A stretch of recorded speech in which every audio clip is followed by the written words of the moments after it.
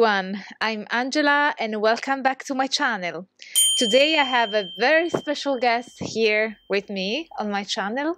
It's Dr. Elliot Cohen from Leeds Beckett University. Elliot is a psychologist. His main area of expertise is uh, psychology and the overlaps between psychology, especially transpersonal psychology, and religion and spirituality. So Thank you very much, Elliot. Here's Elliot. Now you have appeared in the video. yeah. Wow, here I am. Thank you for being here, Elliot. It's my pleasure. Thank you for inviting me. so, today we will talk about a very interesting topic, which I really look forward to knowing more about, and that is Kabbalah. Mm. Yes, Kabbalah the Hebrew word to receive. Okay, so first off, I, I mispronounced it as you. No, it's no, Kabbalah. Kabbalah, Kabbalah, Kabbalah. It's, it's uh, same. Yeah, it's it's you know everyone will understand what you mean. You could say that in Israel, and people would go, "Yeah, Kabbalah." Okay. So it works. Yeah, so first off, since you mentioned that to me in a private message, could you please mm. explain us the different spellings of Kabbalah? Of course, I, I will put the, the spellings on the screen so that people okay. know what we are so talking about. People can see them. Yes, so usually Kabbalah with a K, uh, which is the Kabbalah that I was most familiar with, is the um, traditional Jewish um, mystical practices and um, schools of thought, philosophy, um, prophecy, um, and also the more sort of asur forbidden uh, practical Kabbalah, which uh, many would relate to different magical practices and traditions, which I'll probably be saying um, a little bit more about um, later.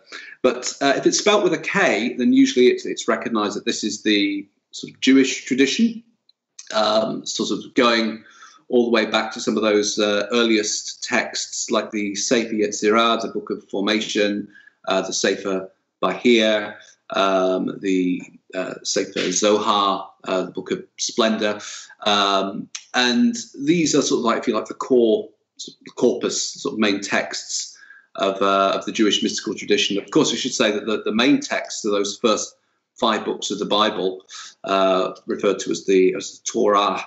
Um, and if you like, that's the um, sort of traditional uh, Jewish uh, roots, foundations um, of, of, Kabbalah with a K. Uh, but then, as I think in different chats we had, I mentioned that uh, medieval times, Renaissance, you get various um, Hermetic schools, um, sort of occult uh, traditions.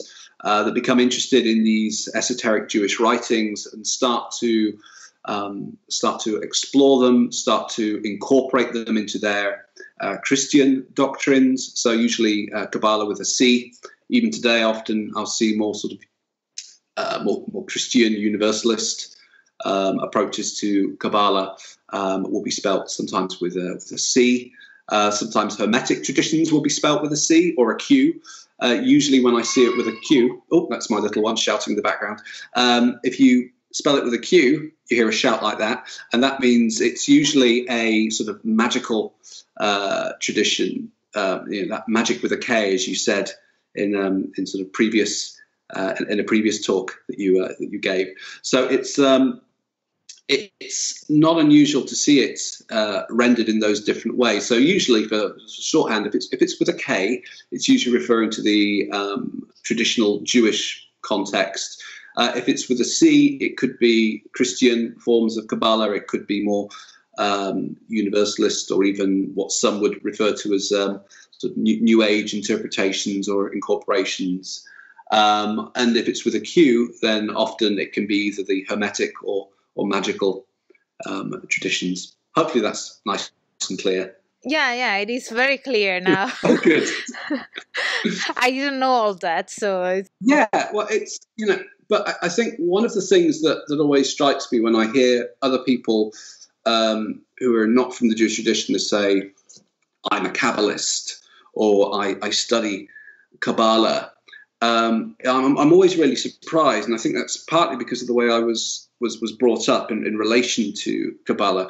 Um, Kabbalah for, for for most Jewish people, um, even even today, it's something quite uh, quite distant. It's something quite um, well, in many cases, forbidden. Um, it's you know occult, hidden secrets, uh, not intended for the masses.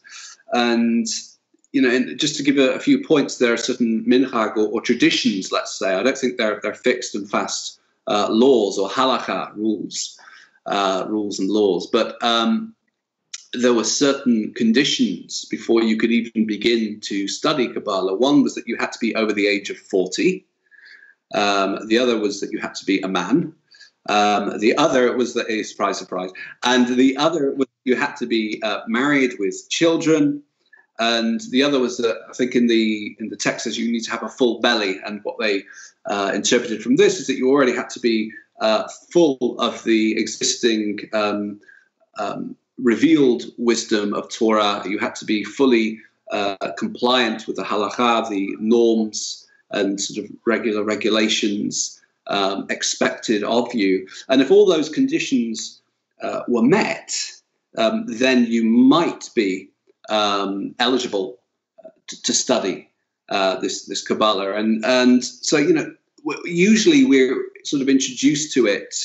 Uh, in, in, those ways, all these different conditions, and then if that's not enough, if that's not enough to sort of, you know, put you off a bit, um, there are these uh, stories, uh, and you find them in the uh, in the Talmud. I think there's one part in Sanhedrin.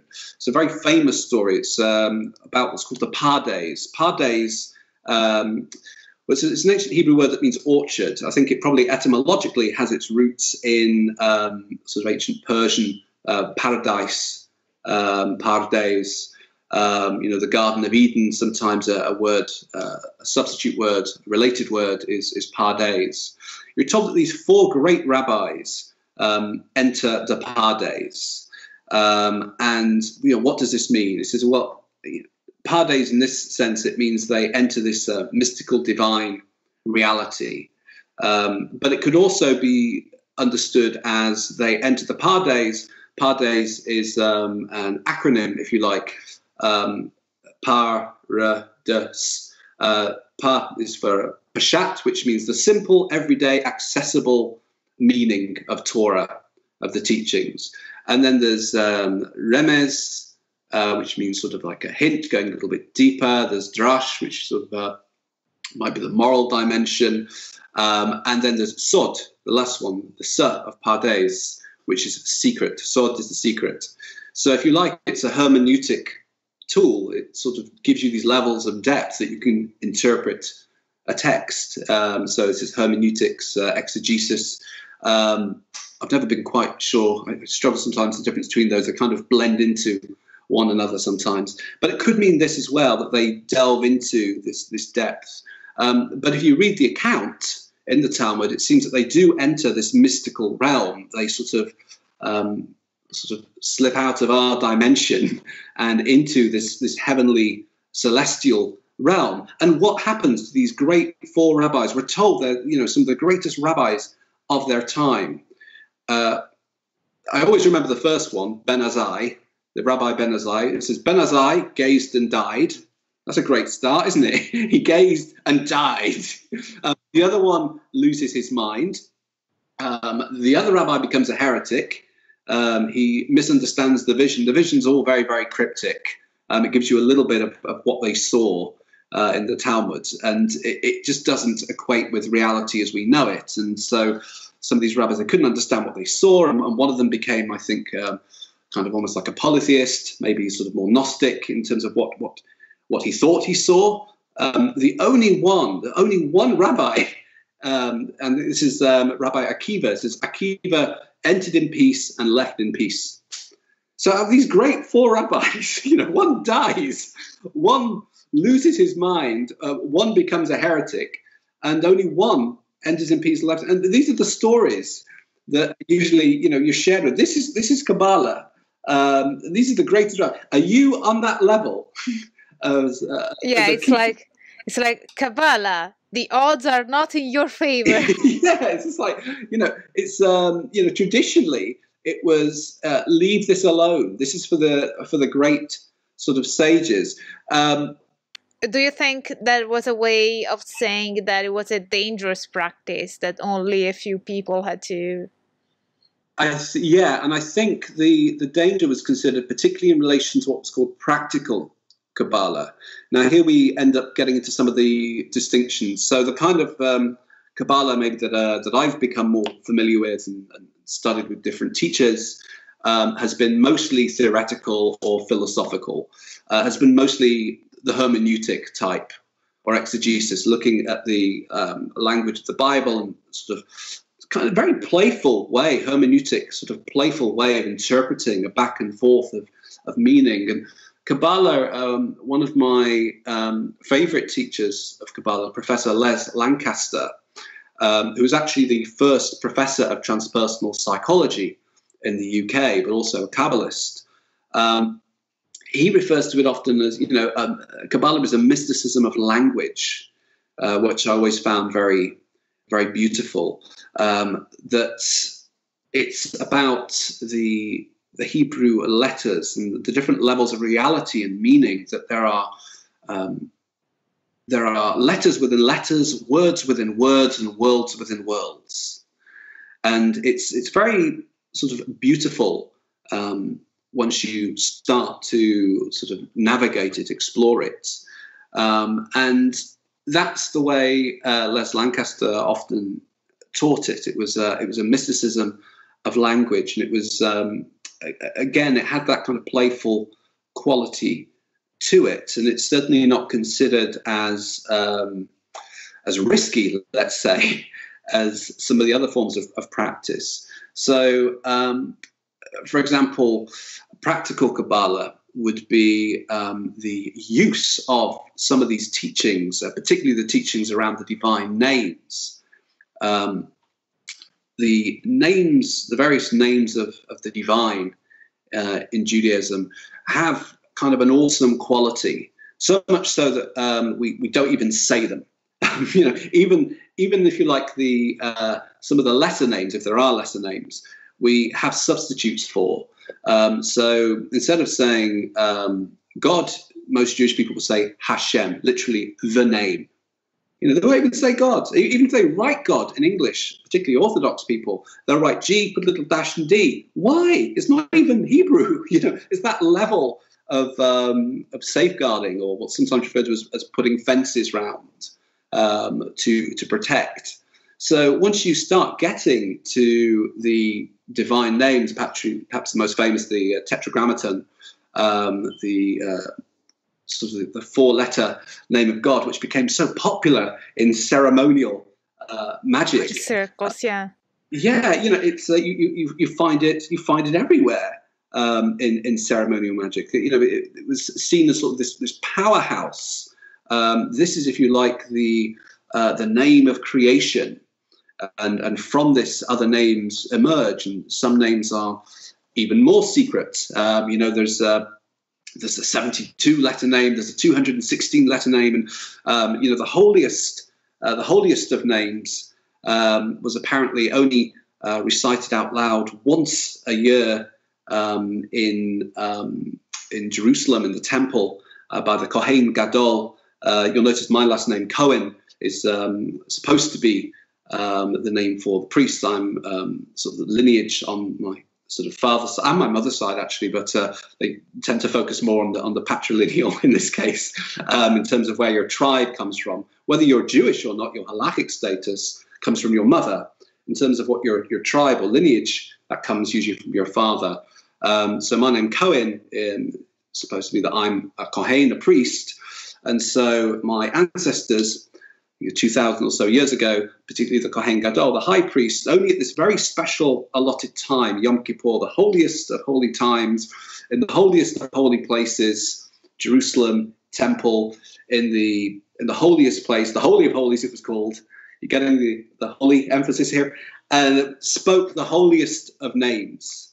Um, and it was so holy that the people wouldn't even want to hear it. They drown it out. They, they the people around it, the, the Levites, the other um, the, the servants of the priests and the other people in the temple would shout out kadosh kadosh kadosh like holy holy holy to, to sort of drown it out a bit uh, because it was too holy to hear you know these these words um, are considered so potent so powerful they are the tools of creation um, and perhaps of destruction as well so they have to be wielded with with great care and this is, I think, very much picked up on in the Hermetic tradition, in the magical traditions, the power of words. You know, one of one of the spells that we, we grow up with, even at sort of children's parties with uh, with with magicians, sort of conjuring, abracadabra.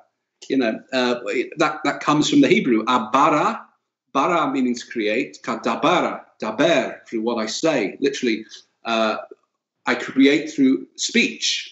May what I say come to be, abarakadabra. So, you know, this ancient Hebrew Aramaic um, formula, I think, recognizes the, the potency, the power of, of these names. Um, and I think there's something about the um, secrecy around these names that became, you know, whenever you cover something, whenever something's concealed, it becomes um, an object of, of, of fascination, of, um, of sort of, of, of tension, of, of, taboo as well. Uh, there's all these prohibitions of not saying the name. That's my one of my favourite scenes in Life of Brian, uh, where where someone's you've probably seen that one where someone says. Of course, you know there's no J in in Hebrew, so uh, you know that's that's fine anyway. But um, it's I think it it sort of illustrates the power. Uh, the power of words, the power of language, the power of of writing as well. Um, you know, the writing of these names. If, if there's a book where any of these names appear, um, it can't be disposed of. Um, it, it, has to be buried. Um, you know, usually they'll wait till someone there's a funeral, a Jewish funeral, and they, they will bury the books because they have these names in. Um, so I'm not surprised there were um, sort of other people from non-Jewish traditions that thought, what what are these names? What is this uh, this untapped uh, power. You know, uh, let's um, you know let's find out what these secrets are, and uh, let's let's try and incorporate them and, and, use them for for magical purposes, for the purposes of, of, of gnosis, of, of self knowledge, knowledge of the divine, for um, knowledge of um, how to create, how to transform. Um, and I think this is something that comes from the traditional Kabbalah with a K um, and, and Jewish tradition in general uh, that was very much picked up on by the Hermetic tradition, the idea that uh, there is the divine spark uh, within all of us, that people are um, in, in the, the Torah, as human beings are a little less than the angels.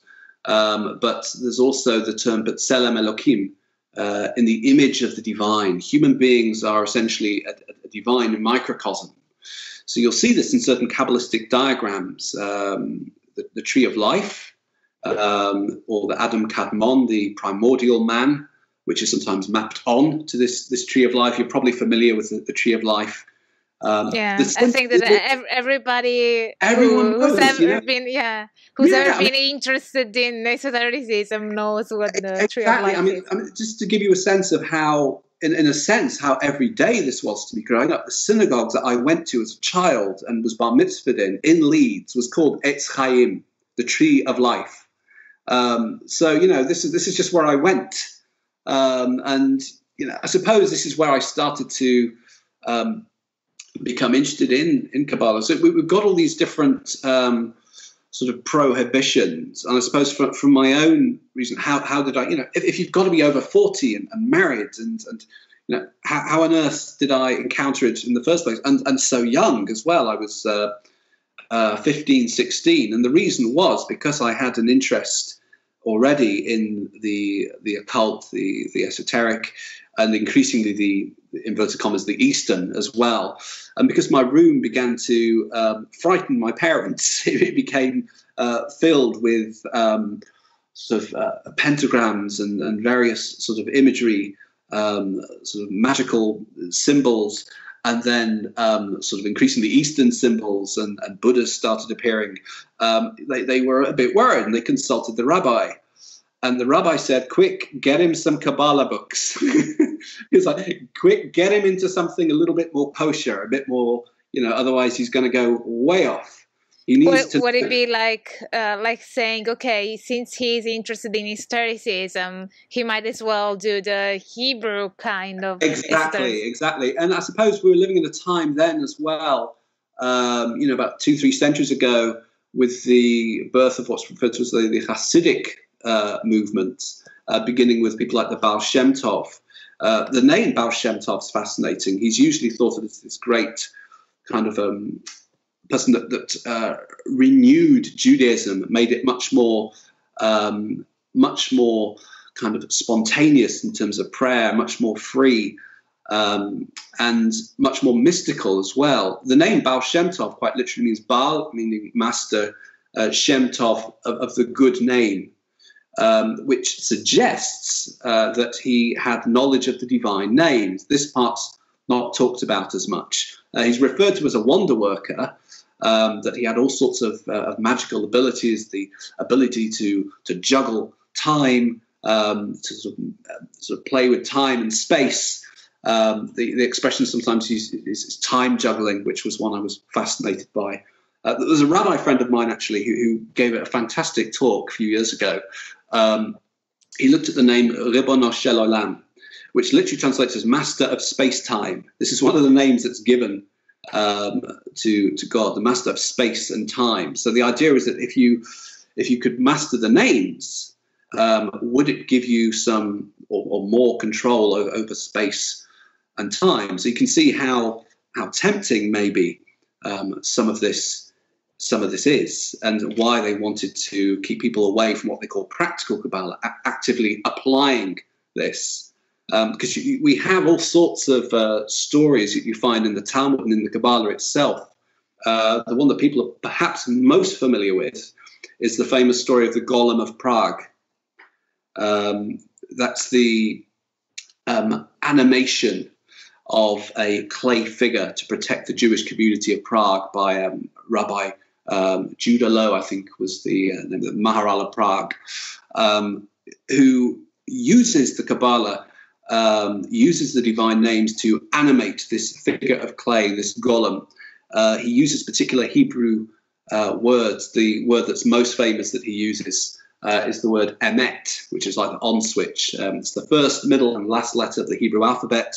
It means truth. And I also, if you add up the letters, because each letter is also a number, uh, it adds up to one of the divine names. Um, so it has all these different qualities uh, to it. And yeah, and now there is still the the belief that you can create a golem in the esoteric communities. Yes, I mean it's you know it's seen in the. Um, I mean, the, the book, the recipe book's often found in one of the earliest Kabbalistic texts, the Sefer Yetzirah, the Book of Formation. Um, I think they even made, made an X Files episode about this years ago. Um, this woman whose husband is murdered, and she, uh, to to avenge him, she makes she makes a golem um, and they sort of um, show the whole show the whole process um, as, as, they imagined it. Um, at the end, when they want to deactivate the golem, um, they lick their finger and, and, wipe off the aleph, um, which leaves the word uh, mem and tet, met, which means dead, inert, inactive. It's like an off switch. so you know the stories of, of, the golem. I mean, you only need to go to Prague today uh, and see um, the the way this story has become so much part of the tourist industry there. But there's some weird stuff that goes on in terms of how this makes people think of, of the Jewish community um, and the associations which were prevalent in medieval times uh, between Jews and sorcery. Um, you know, th- this became really, really problematic.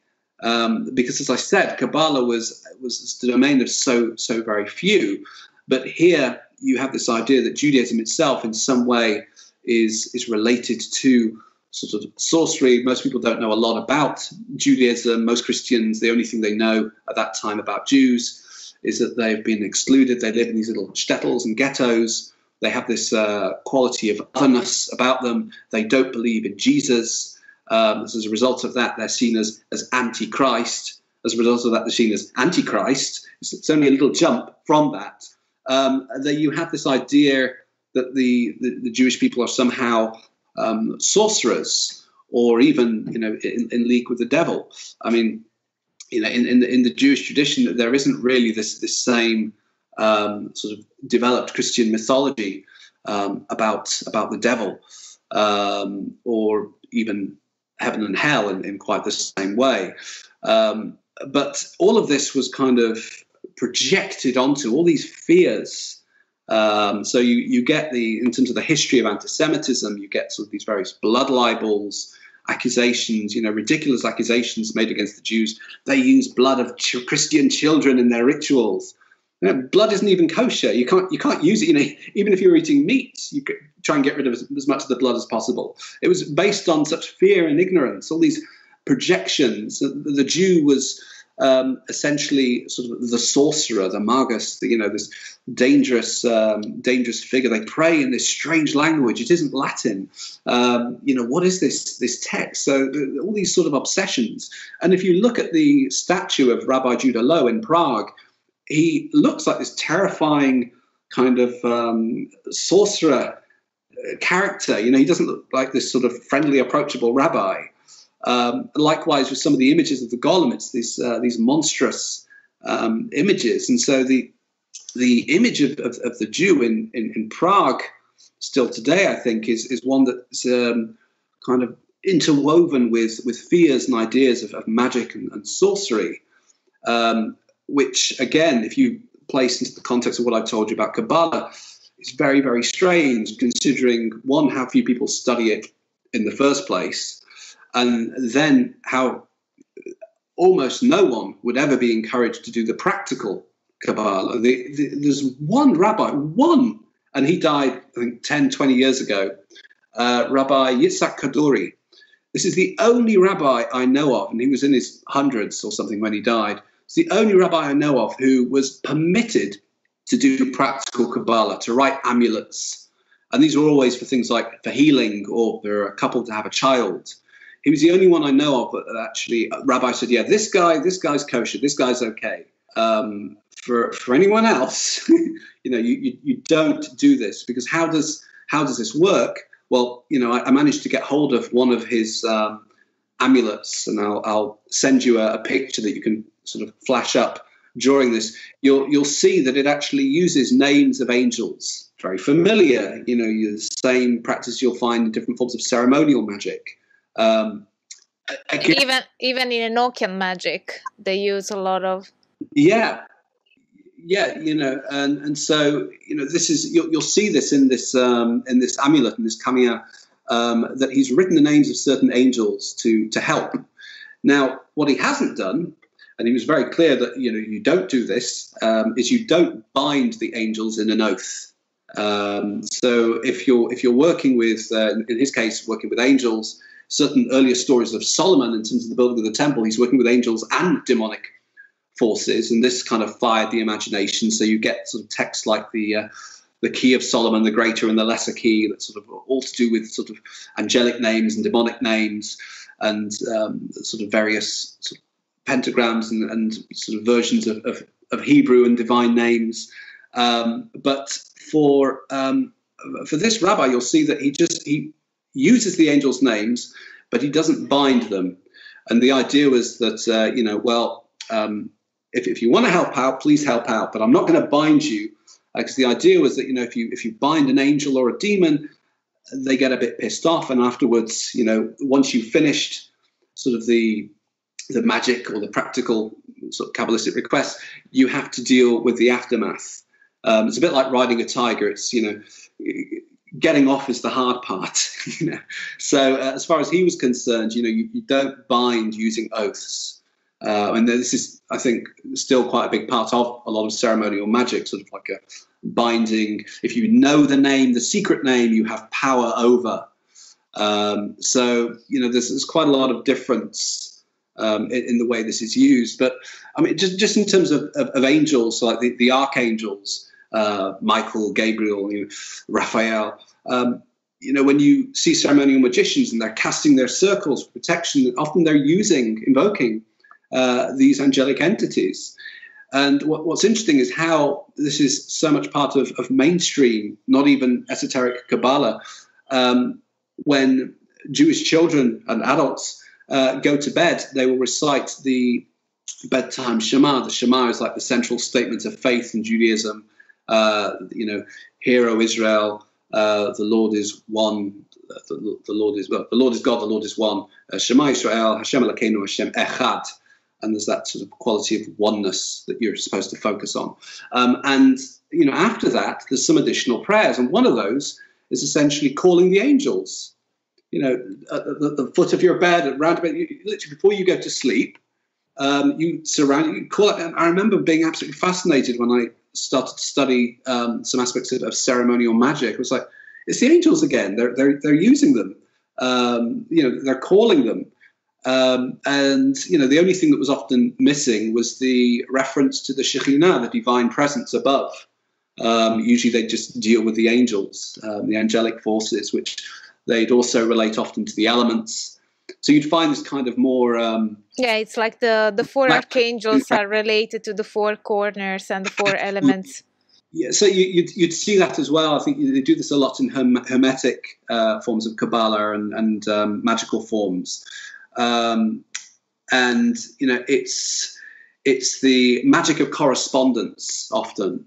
So, um, I mean, so Crowley uses this, Hermetic use this. You know, each each one of the Sephirot, the divine attributes um, that's shown in the Tree of Life, has all these other associations. Now, they have associations in the in the traditional um, sort of uh, Kabbalistic uh, traditions as well, but they add all sorts of other things um, in the Hermetic tradition, like you know, you, you might find this this one now is associated with um, the goddess Sophia, or this one's associated with Isis, or, or other sort of Greek or Egyptian uh, gods or goddesses. Um, you know, there's a fair amount of astrology already in certain parts of Kabbalah, references to uh, the planets. Um, but again, this is this is a complicated area. Um, you know, there, there are sort of versions of Jewish astrology but for the most part, uh, again, the idea was that um, you know if you follow the various halacha, the sort of Jewish rule and ritual, and you know that is supposed to protect you from the influences of the planets. Um, and this this comes to the whole area called the, the mazal, um, which can relate to stars and sort of luck or fortune. Um, again, this is something that's rarely spoken about, but it is there. Uh, there's quite a rich tradition of um, of, of astrology um, in that you'll find in certain Jewish Kabbalist texts, even the more traditional with a K, um, but it's perhaps less explored. Um, I've got one of my um, uh, rabbi friends, Rabbi uh, Aaron David Rubin. Um, he has kind of specialized on sort of ancient forms of, of Jewish astrology, so he's certainly the expert um, there. He's he's um, given talks in this in the past. Um, but the, the idea here was that you could be, um, you, you, know, you don't want to be under the influences of the planet. You want to be sort of free from them. And so uh, the, the, idea was that if you can develop um, this perfect faith, um, this alleviates all these negative influences, the the evil eye or planetary influences. so it, as you, can see, there's quite a lot of tensions uh, within the system. So basically, there there are a lot of differences between the traditional Kabbalah and how Kabbalah has been reinterpreted and adopted by ceremonial circles. Yeah, very much so. I mean, even down to things like um, sort of pronunciations of, of, of different different names that probably a Jewish person would, would never do uh, would be very, very cautious with with that. You, you see them being used very freely and, and openly, um, sort of written and um, and then sort of used to invoke um, various sort of angelic forces. I mean, uh, one of the first stories that I was um, sort of that I remember it was from this uh, golden treasury of Jewish tales. Uh, read as a child. and it, it forever sort of got rid of that idea that angels are these wonderful, ethereal, beautiful sort of um, or, or the, the, cherubs, the cherubim, were these um, little chubby-faced babies.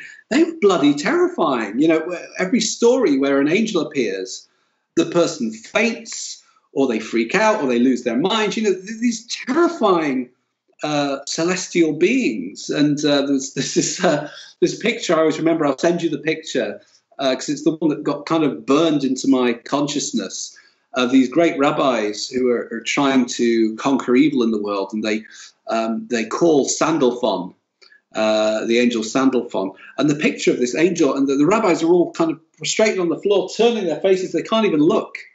Uh, you know, they're absolutely terrified, and they need to ask permission to sort of recover their senses so they can even, even interact. Um, again, there seems to be within the non Jewish traditions of, of, of, Kabbalah, you know, um, they, they kind of rush in where angels fear to tread sort of to borrow that old term.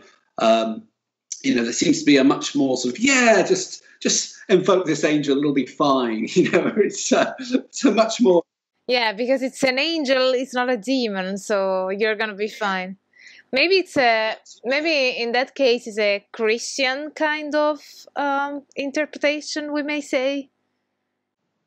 Yeah, maybe. I mean, they were kind of um, you know they they're they're given a much more benign human appearance, I think, um, in Christian iconography. You know, they're they're almost always just sort of winged human figures. Uh, they they tend not to, you know, I mean, the descriptions of some of the angels, you know, mind blowing wheels within wheels or heads of, of, of, of lions and eagles and humans. Uh, you know, sometimes there is a bit of an overlap in terms of appearance with the demonic um, some of the um, demonic entities are also described as having sort of a human head and the head of a, a bull or an eagle. So, you know, being able to know the difference is uh, quite different. Is quite difficult as well. Something you're warned a lot about to turn you here straight away if you start studying um, the uh, Zohar. Um, is the term Sitra Achra, which translates as the other side. Um, and this is slippery, and this is when it starts. You know, you might imagine you're starting to get prophetic insights or, or, powers or the power to heal. And there's always a question: where is that power coming from? Is it coming from the, the side of the divine, or is it coming from the Sitra Achra, which often imitates the divine? So if you're having um, a book dictated to you by an angelic force, is it an angelic force, or, or is it is it actually demonic? Where does it come from? Um, so the, there's. Uh, What's the difference between um, angels and demons? Since you you mentioned that angels are not these benign figures, um, so what's the difference then between angels and demons in Kabbalah? Um, that's an interesting question. I mean, the uh, sort of main difference, I think, is that uh, the, I mean, everything is essentially under the um, divine rule um, there isn't the same idea of almost like independence. Um, and even some of the demonic forces, um, we're, told in some of the they, they also study the Torah. Uh, they're also subservient to the divine. Um, it, it, seems that, the, that what, what, differs is their attitude towards humanity. Um, they might have a more malevolent attitude, more more jealousy. Um, I mean, even at the beginning of creation, in certain discussions in the Talmud, uh, you have certain of the malachim, the angels, um, sort of feeling a bit put out that you know humans are being created, but Tselem Elohim in the image of the divine. Uh, why? Why are they being favored in this way? Um, put in this garden, um, given the you know we're, told that um, you know Adam is almost sort of like co-creator in naming the creatures. We know the power of names um, in, in, in, sort of the Kabbalistic texts. Um, so you know this led to certain feelings, perhaps of, of, of jealousy. Um, and this is sometimes related to the uh, maybe the left hand side of the tree of life, um, related to gavura or judgment uh, or restriction. That, that from this um, comes what might refer to as some of the more demonic forces, and these are often associated, I think, also with the tree of um, knowledge of good and evil in contrast to the, the tree of life, that these are understood often as being the roots of some of the uh, demonic forces that might seek to harm humans. Um, so I think it's um, that that tends to be um, some that's approaching an answer in terms of, of, of the distinction.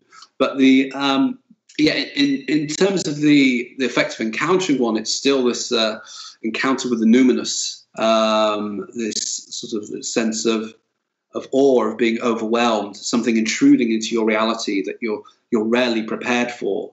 Um, just as the four rabbis entering the Pardes, um, you know, the, the, they're, most of them are overcome. So th- there is this this sense of, um, you know, you you kind of don't explore too much in order to protect yourself. Uh, and you don't use these um, divine names, or you know, if, if you do, you do so very, very carefully, very cautiously. So um, most of the what we have Kabbalah today um, is actually um, a you, you might say kind of safer version in the form of what's called Hasidus or Hasidut, uh, which came from the Hasidic tradition. They took Kabbalistic ideas and uh, made them more accessible, approachable, relatable. Um, they um, managed in that way, they moved away from some of the practices of, um, of, of, using divine names um, and sort of look to ordinary actions, sort of a, a mysticism of everyday life, if you like, um, that every moment should be elevated and holy and sacred. Um, so this this became sort of like the, the fundamental sort of core, if you like, of of, uh, of, of Hasidut. Um, so it, it, very much has its roots in in, in Kabbalah and Kabbalistic thought and, and thinking, um, but it it doesn't um, it doesn't involve or concern itself with the practical aspects of, of, of Kabbalah, even though its founder was called the Baal Shem Tov, which, as I said before, suggests knowledge of the divine names.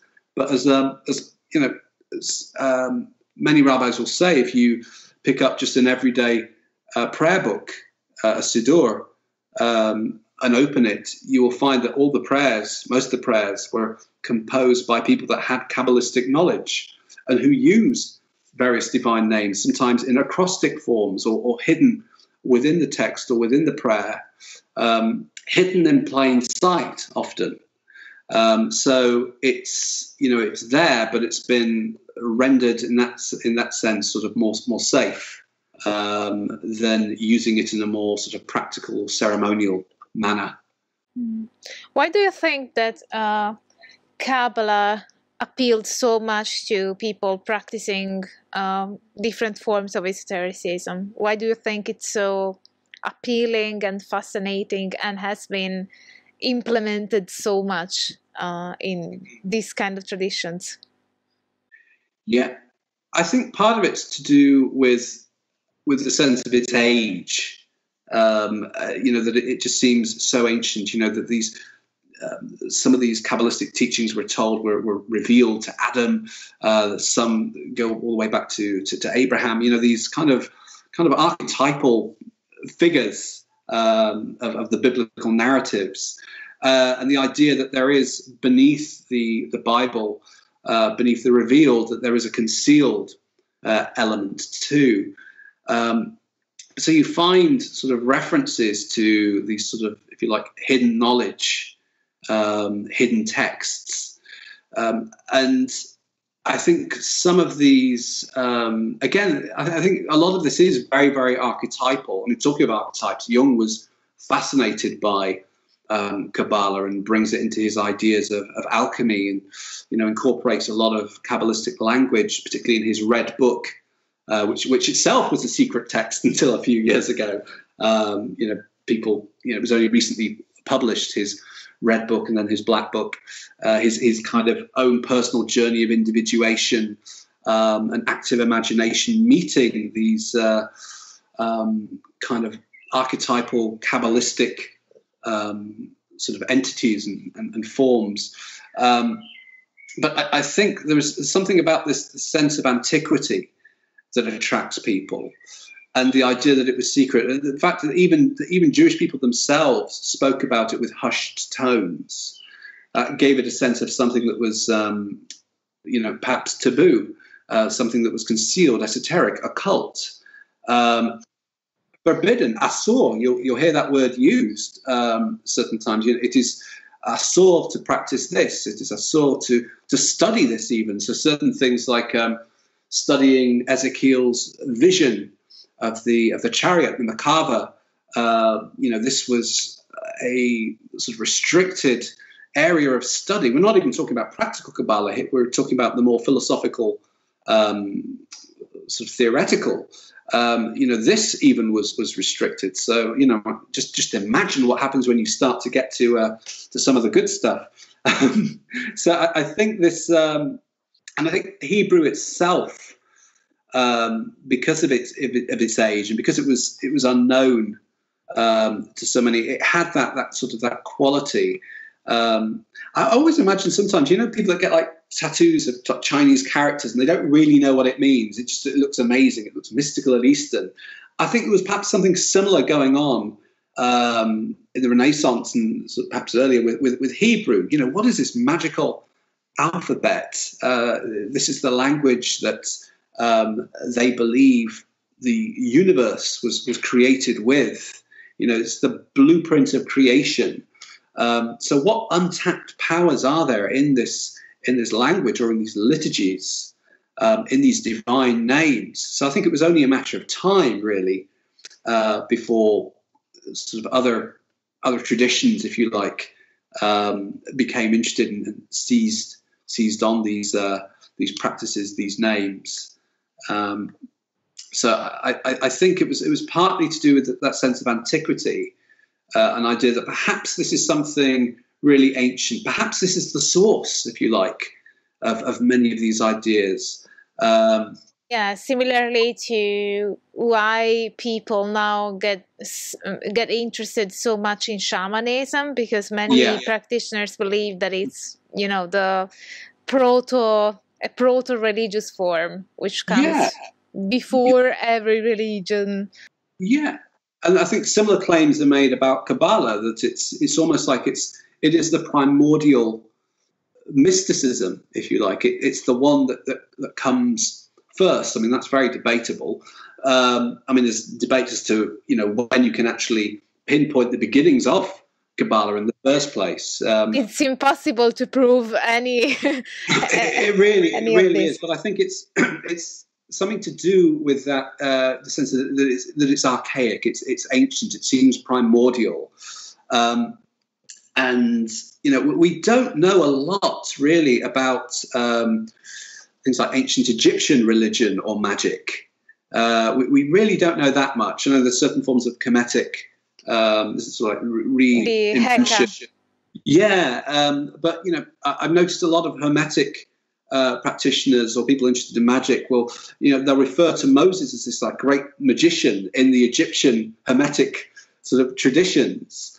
Um, of course, what they uh, sort of kind of play down a bit is that when that story is told um, in the Torah, it's given in a way to distinguish between um, divine sort of, if you like, um, uh, more theurgic forms of, of, of magic uh, versus um, sort of a mixture perhaps of what they write off as maybe conjuring or something that comes from the Sitra Achra, the other side. You know, they're using um, Egyptian gods, pagan um, sort of deities to sort of, to do their bidding. And of course, in, in the story, um, you probably remember, uh, you know, this is when we start getting these images of, of staffs swallowing staffs and snakes, and uh, you know, uh, and you know, a lot of this imagery we end up seeing in in alchemy as well. Um, you know, alchemy is something we've spoken a little less of, but you know, you you find um, even things like as above, so below. Well, that's something you find in the Kabbalah as well. It's a, it's that central tenet, the um, sort of the coming together, the blending, the union of the, um, if you like, the Shekhinah, uh, the divine feminine, um, with the um, sort of the Yesod, with Keter, with this the sense of the masculine and the feminine aspects of the tree of life, blending and coming together, of finding this unification. The idea of unification is absolutely central in Kabbalah and Yichud, uh, bringing together um, almost the dispersed fragments of divine names that have been sort of broken up in the process of creation, bring those back together. This process of what's called tikkun or tikkun olam, healing time and space. Um, certain prayers or practices um, that we might say every day, and this isn't even the Kabbalists, this is just the regular the regular Jewish people will just say um, maybe at the start of, of, one of these rituals, uh, Yichud, for the purpose of uniting, unifying the divine name. And then there might be a little formula uh, that they say to to join the Yud and, the, and, the, Hey part of God's name with the with the Vav and, and the Hey to bring those um, together. Um, that certain actions that we that we have in this world make a real difference. And I suppose this is one of the um, what what certain Christian groups would have seen as absolutely heretical uh, that God needs us, um, that human action, in, in a sense, it's kind of like a partnership with the divine. Uh, through our actions uh, in this world, that that's what it means by B'Tselem Elohim, made in the image of the divine. Uh, is this heretic? For... Well, an, uh, here's an interesting thing. You know, um, yesterday's heresies become today's orthodoxies. So, you know, the, the Hasidim of centuries ago, at the time, there were harems, there were bands. You know, they, they, they were seen as being these dangerous, uh, anti-rationalist, sort of crazy mystics. Um, you know, serve God with joy. You know, joy itself could be this form of uh, Avodat Hashem, service to the divine. Um, they tended not to emphasize the sort of the scholarly, serious rationalism of some of the other more mainstream um, Jewish movements. So at the time, they were seen as the uh, kind of sort of kind of dangerous um, renegades in, in, in, many ways. But over time, uh, this really kind of catches on. You know, the kind of original Hasid, the original Hasid was kind of this antinomian character in some ways.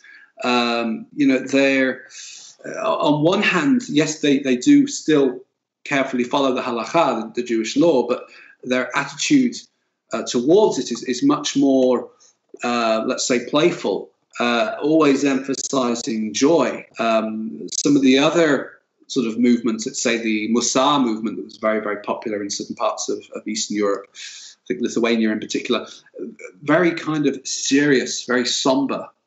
Um, you know, not much smiling and laughing. It's a lot of sort of self-recrimination and feeling feeling bad. And you know, Hasid- Hasidism's kind of turned that on its head. Um, so you see certain contemporary uh, Hasid- Hasidic movements like Lubavitch or Breslov. They're really kind of happy people. Uh, you know, dancing, singing musicians. Uh, really, really funny people. Um, and you know, at the, at the core of what they're doing is, is this Kabbalah uh, that kind of informs everything that they're doing. The sense that their uh, that their life needs to be part of this tikkun, this effort of repairing, of healing the world. Um, so yeah, it's it's it's quite interesting to see that today's when we think of Orthodox today, when we think of sort of the ultra Orthodox community, we think of the Hasidim. We think of these people with like the the black hats, the fluffy hats, and the, the peyots on the side, um, sort of the, the, sort of the hair and the beards. Um, you know, this is tends to be what we think of, and um, maybe. Yeah, I was asking, especially uh, because of what you said about the conception of mm. God. Mm. As you know, that, that kind of exchange that there is between uh, people and God. Mm. Yeah, I mean, it, it becomes... sounds it sounds kind of heretic from a monotheistic point of view. Well, yeah, uh, on the other hand, you know, there is still this kind of intimacy, uh, even within sort of, uh, even within the liturgy. Jewish people tend to refer to God as uh, Avinu Malkenu. Avinu is like Father, Malkenu King. So you've got these kind of, I think that kind of expresses this almost uh, polarity in terms of the way you relate. And the way Hasidim relate to God um, is very, very personal. Uh, I mean, I've been to places like Sfat, where I've, um, which is actually where I bought my first Kabbalistic books. That's another story. Um, that was an adventure in itself. Um, but you, you can hear sometimes these um, Kabbalists and, and Hasidim pray. Um, a practice called Hitbodedut, um, where they, they pray out in the fields and the forests, you know, out of the synagogue in nature. They're encouraged to do so by the, the great Rab, the Rebbe uh, Nachman of, of Breslov, um, who was originally from the Ukraine. And you hear them praying when they, they speak to God. Um, they're saying Tati, literally daddy, dad, in a very, very intimate way of relating like family, you know, just, just praying both in, in Hebrew, the Lashon Kodesh, the holy language, uh, but also in whatever vernacular they speak, be it sort of Yiddish or, um, or usually Yiddish, uh, but, you know, even English. Um, so, you know, there, there is very much that sort of intimacy. Um, I, I, remember sort of explaining this to a, a friend who was quite a, um, well, not so much a friend because his, his kind of beliefs kind of excluded me from his circle of friends. Uh, I think he saw me as a, a target to evangelize. He was quite a fundamentalist Christian. And um, I was trying to explain to him this, this language of um, thinking of yourself as a child of the divine, you know, of the divine as being father or even mother. Um, and that's an interesting sort of development in even in Kabbalah with a K now. There seems to be much more emphasis on the Shekhinah, the divine feminine. Um, I've been studying uh, Zohar with Professor Daniel Matt, and it's, it's very interesting. And so he's he's really sort of the one of the new great scholars of, of Kabbalah of, of, of this of this age. And um, what's interesting is um, how much um, students in the class are now talking about the divine feminine the feminine aspects of the divine, and uh, you know, uh, the way that we can sort of reimagine, uh, kind of restore perhaps some balance, and that's what Kabbalah largely, the tree of life, is essentially about balance. You know, if you get balance, you, are there. You know, everything connects, and that sort of tiferet, beauty at the center. That's that harmony between the masculine and the feminine. That you know, everything kind of centers there, connects there. Um, so that that's been very interesting, seeing how that's uh, um, how the emphasis changes. You know, the text remains the same, but the way we read it uh, changes over time. Um, you know, where we place the emphasis um, changes all the time. So that that's been interesting to to watch. Yeah, yeah. That's, I think that's quite true of every religion. I, th- I, think so. I think so. You, you see it in. Um, you know, in in, in Taoism, they would say like, uh, you know, know the masculine but keep to the feminine. Um, you know, uh, there's. Uh, yeah, there is a revival of the feminine aspect of the divine. There is, there is. I think that's that seems to be. Uh, a trend. Uh, yeah. yeah, it is a trend across different religious movements. It is. You can see it in Jung's work as well. He said, you know, this is going to be the age where we we need to recover, rediscover, integrate the anima. You know, we, we need to stop excluding and repressing it. Um, you know, we, we need to sort of properly integrate, and incorporate it. And I notice that seems to be happening more and more in um, in all different wisdom traditions, uh, not just uh, Kabbalah or Kabbalah, however you want to say it. And um, what's the meaning of the you you sort of uh, touched on it a bit, but uh, I wanted to I wanted you to expand more on the tree of life and what's the philosophy and the meaning behind it in traditional Kabbalah as opposed to in ceremonial magic? Yeah, yeah. Well, again, it's you know, in ceremonial magic, it tends to be do with, like, with correspondence and sort of that kind of magic and how this relates to this planet or this. And astrology and the yeah, tarots yeah. and. In in the um, traditional Kabbalistic tradition, the tree of life, these are the sephirot, the divine attributes. It's a way, the closest way we have to actually understand the divine and to understand how to relate to the divine, is to see these various qualities in in balance, in harmony, qualities that we also possess both uh, within mind, body, spirit, these different levels. Is it perceived as a progression um, from the tenth yes. to the first? Yes, it's uh, it's sometimes you hear this term descent for the purpose of an ascent. You know, it's uh, you sort of uh, the process of creation is from the most um, unimaginable kind of abstract ideal to the physical concrete reality. So this journey down the tree through the four worlds.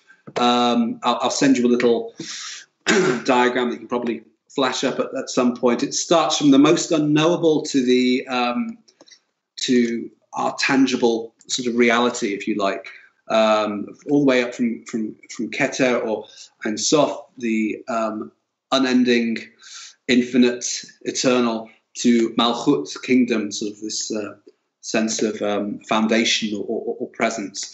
Um, and sort of within this are the, the divine qualities or attributes which we ourselves are supposed to, perhaps there's some quality of like theurgy here that we're supposed to cultivate within ourselves. And once we get the the balance right, um, we are more B'Tselem Elohim, made in the image of the divine.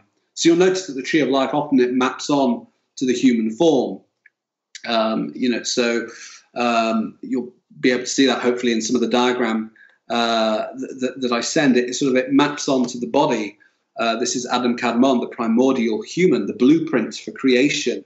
So again, it's it's creation of of everything, time and space, but it's also about the um, creation of, of, humanity and how the human is, if you like, a microcosm, um, a sort of microcosm image of the divine um, within our sort of.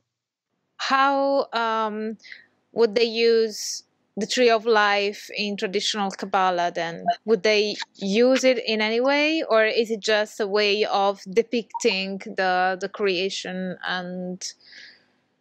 In in most sort of uh, theoretical philosophical forms of Kabbalah, it would be used mostly as just a blueprint to better understand uh, different divine qualities and attributes different divine names, when they might be used in the Torah, what this particular name means, which Sephirot it relates to. Always really careful as well to recognize that these aren't separate gods or deities, that they are parts of a whole. Um, one way, one rabbi explained it to me is, you know, um, it's almost in the way that a prism ref- refracts light. It breaks up the white light into sort of separate colours, but it's all part of that light, that one light. But the way we see it or perceive it um, differs according to our capabilities or what we're able to receive. That's what Kabbalah um, means, you know, what we're able to receive. Um, so part of it is trying to um, harmonize, synchronize, resonate with uh, with this Etzchaim, this tree of life, with these Sephirot to get the balance of these qualities right within ourselves. So, how would you do that? I mean, how would you use the tree of life? Example. I'll give you an example using uh, using three of the of the Sephirot. So let's take um, the example of uh, of the right side of the tree of life, the Sephirot of Chesed, which is often translated as loving kindness, which sounds very Buddhist, um, but it's that, that quality of of giving uh, of, of, openness. And on the left hand side, uh, you'll see the quality of gevurah. Gevurah means, uh, well, it has lots of different meanings. One is restriction, judgment, strength. Um, it's to do with like limitation. So one side is about sort of giving, um, one side is about restriction, keeping uh, your distance, about boundaries. you could think of that as uh, you know what what happens if I you know if I don't have the sort of the wisdom of balance. If I'm constantly giving and giving and giving and giving, I have nothing, and I'm left with nothing to give. Um, or that sense of, of, of contact. Uh, this is an interesting one at the moment. You know, um, we're, we're, living in times where we, we have to. You know, wisdom tells us to keep separate, to keep away um, from from one another. Um, so there's that wisdom, there's the knowing, in a sense, um, when to give, when to sort of um, embody this loving kindness, when to keep our distance, uh, when to sort of have that sense of restriction. That balance is tiferet, is beauty, that harmony sort of in between. I think you can probably hear my little one in the background now. Um, so it's that, uh, you know, that's sort of what. Uh, that's often how sort of the, the, Kabbalists would, would understand this. You know, they're, they're looking at these divine qualities and trying to recognize, realize, cultivate them within themselves in their day to day lives. It is a it is a form of I wouldn't say meditation, but rather a contemplation of uh, the aspects of your life that you have to integrate in order to be whole and closer to the divine, to your divine nature. Yeah, I mean, if you want to do it, you know, you, would probably find, you know, what we refer to as Jewish meditation.